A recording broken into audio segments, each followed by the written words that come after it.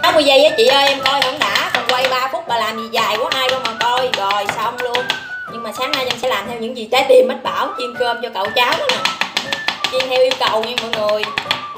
Sắc mấy cái tôm viên, bò viên công nghiệp này nè. Trời ơi, ăn theo yêu cầu của anh bạn nhỏ đó chứ. Nhà có lập xưởng rồi, mẹ chăm đi, mẹ chăm làm lập xưởng để sẵn luôn kìa mọi người. Nhưng mà thôi, giờ chiên vậy đỡ đi. Chiên theo yêu cầu mà. Đây trong đây có lập xưởng đó nè, mọi người, mẹ chăm làm đó. Năm nào tết mẹ cũng làm, nhưng mà hàng ngày muốn ăn thì làm cũng được. Trước khi đi làm xong rồi để ở nhà vậy đó. Ở đây cậu quý ở nhà kho tép, còn mấy con tép tồn kho này giờ lấy đem chiên cơm luôn. Em giống như bướm bướm á trời, chiên cơm ăn lượng sáng giờ giống như bướm vậy đó. Cho hành vô phi này nhanh trí đặt cái trứng vô nữa. Hôm nay là thứ bảy, em tập đi đi vào ba. Dân số đông mà thêm trứng đi. À đó, cái món này là chiên theo yêu cầu của anh bạn nhỏ nè. Kêu cũng kêu theo tên ảnh luôn nữa. Rồi, sau đó cho thêm mấy con tôm tồn kho cậu quý vô. Đó. Trời ơi, hỗn hợp mọi người ơi.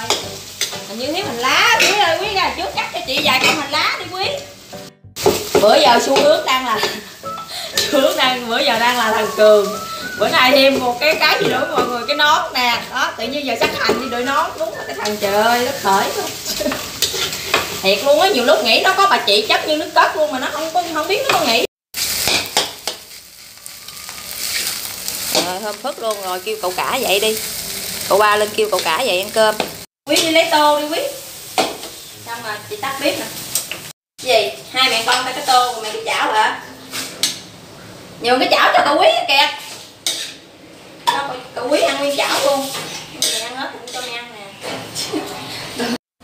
Thế ke hả? Còn thế ke? Nó, từ từ thôi Không phải thổi chứ Thổi ăn được vừa ăn không? Thổi thấy hợp ý không chưa? Đúng vị chưa?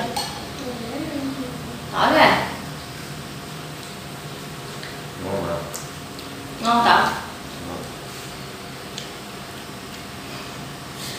Đợi nó thổi nó tẹt Đổ mồi lửa luôn á Thử nè Ăn khẩn trương lên coi